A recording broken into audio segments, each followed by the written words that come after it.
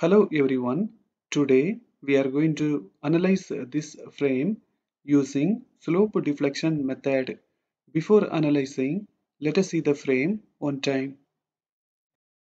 In this frame, there are two columns, column AB and column DC and there is a beam BC. This frame is symmetrical in the dimensions. Also, the loading is symmetrical. So, this is a non-sway type frame. The columns carry point loads 20 kN in the centers. The beam carries uniformly distributed load 15 kN per meter acting for the full span. The length of the columns is 4 meter and the length of the beam is 5 meter. The moment of inertia for the columns is given as 2i and for the beam it is i. In this frame, let us find the kinematic indeterminacy. For that, we have to check the supports and the joints. In the points A and D, there are fixed supports.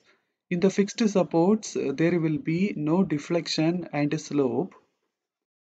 In this frame, there are two joints, joint B and joint C. In these joints only, beam and columns are connected. Since this frame is a non-sway type frame, there will be no deflection in the joints. But in these joints, there will be slope. So the kinematic indeterminacy of the frame is 2. In the joint B, we have the slope theta B and in the joint C, we have the slope theta C. So in this analysis, there are two unknowns.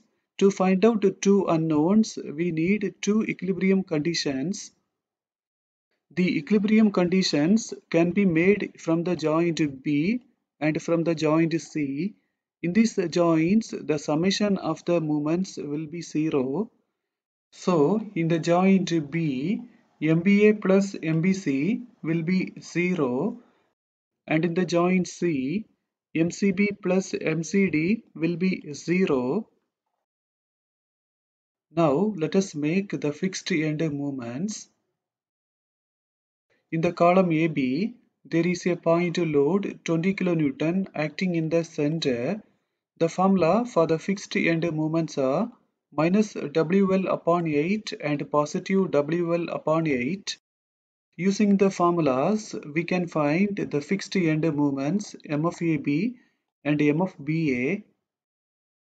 Now let us take the beam BC. In the beam BC, UDL 15 kN per meter is acting for the full span. The formula for the fixed end moments are minus WL square upon 12 and positive WL square upon 12.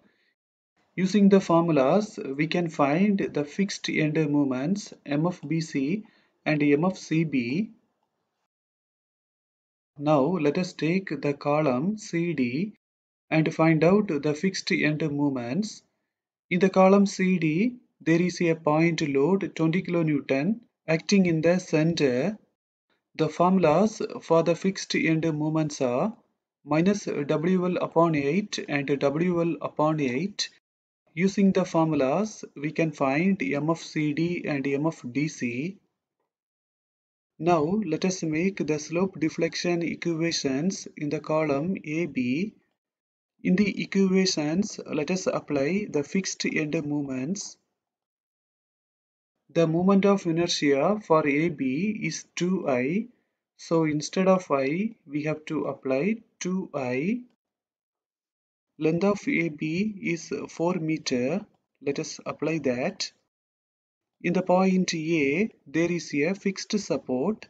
In the fixed support, there will be no slope. So theta A will be 0. Finally, we are making two equations in the column AB. Now let us make the slope deflection equations in the beam BC. Length of BC is 5. Let us apply that. Also, let us apply the fixed end moments. Finally, we are making two equations in the beam BC. Now, let us make the slope deflection equations in the column CD. First, let us apply the fixed end moments. The moment of inertia for CD is 2i. So instead of i, we have to apply 2i. Length of CD is 4 meter. Let us apply that. In the point D, there is a fixed support. In the fixed support, there will be no slope. So theta D will be 0. Finally, in the column CD, we are making two slope deflection equations. Now let us make the equilibrium equations. The first equation can be made in the joint B. In the joint B, there are two moments, MBA and MBC. When we add both of them, it will be 0 we have already made the slope deflection equations for MBA and MBC. Let us apply them. Finally, we have made one equilibrium equation. Let us name this equation as equation number 7. The second equilibrium equation can be made in the joint C.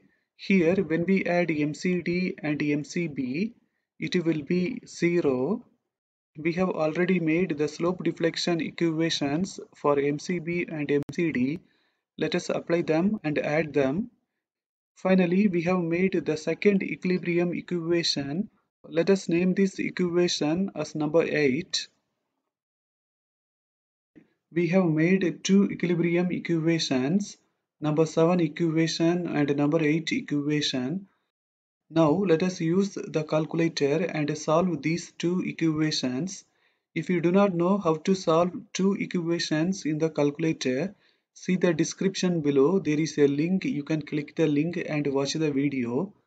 I have used the calculator and solved the equations. For A theta B, I am getting 8.8541 and for A theta C, I am getting minus 8.8541. When we apply the value of A theta B in the equation number 1, we are getting MAB. When we apply the value of A theta B in the equation number 2, we are getting MBA. When we apply the values of A theta B and A theta C in the equation number 3, we are getting MBC. When we apply the values of A theta B and A theta C in the equation number 4, we are getting MCB. When we apply the value of E theta C in the equation number 5, we are getting MCD. Finally, when we apply the value of E theta C in the equation number 6, we are getting MDC. So in this analysis, we have found all of the moments. For MAB, we have got a negative value that means it is acting in the anti-clockwise uh, direction. For MBA, we have got a positive value that means it is acting in the clockwise uh, direction. For MBC, we have got a negative value that means it is acting in the anti-clockwise uh, direction. For MCB, we have got a positive value that means it is acting in the clockwise direction. For MCD, we have got a negative value. That means it is acting in the anti-clockwise direction. For MDC, we have got a positive value. That means it is acting in the clockwise direction.